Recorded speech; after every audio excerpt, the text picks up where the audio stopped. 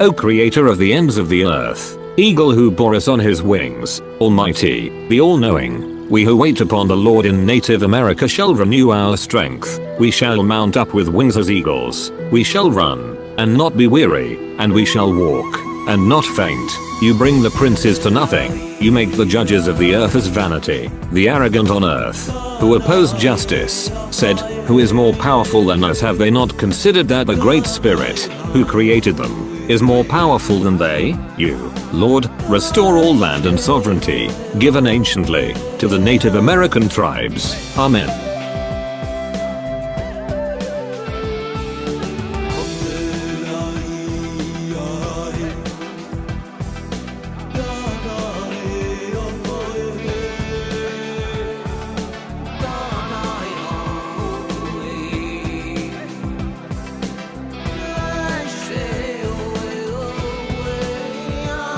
This is April Schulthies, a victim of genocide. God loves all his children. Native Americans suffered a genocide. God will never forget. Jews, Africans, Muslims, Mexicans and others suffered genocide, too. The scriptures say, Your Lord is the Almighty, the Merciful.